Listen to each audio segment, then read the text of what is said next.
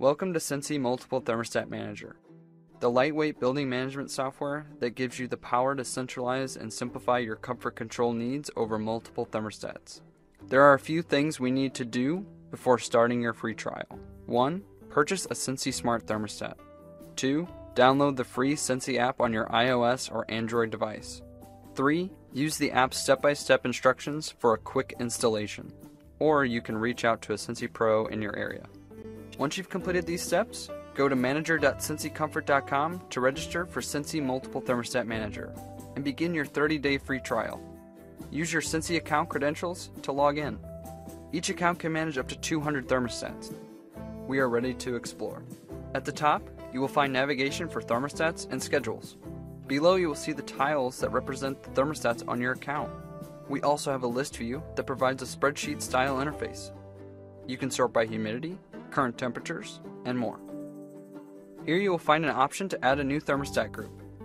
Below that, you can find all your thermostats in a default category called Ungrouped. You can see the current temperature, mode, and schedule for each thermostat. When I click on the thermostat named PTAC, it shows the current temperature and that the thermostat is locked and in cool mode. The thermostat is running a schedule called default. Utilize this screen to adjust temperature, change system, and fan mode. To access additional thermostat options, click on More Settings located in the top right of the page. Here you will find temperature limits, cycle rates, and more. Use our newest feature, Temperature Limits, to prevent others from adjusting the temperature too high or too low. To navigate back to the thermostat tile screen, click the Thermostat tab.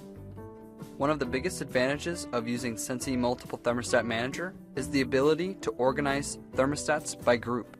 Let's imagine that you manage the HVAC systems for multiple buildings, and you would like to organize the thermostats by building. You have the main building and the annex. Now you're going to create a group for each by clicking Add a new thermostat group and naming it. Once you've named the groups, you can drag and drop your thermostats into their appropriate location. Easily consolidate and customize settings across multiple thermostats by grouping and sorting.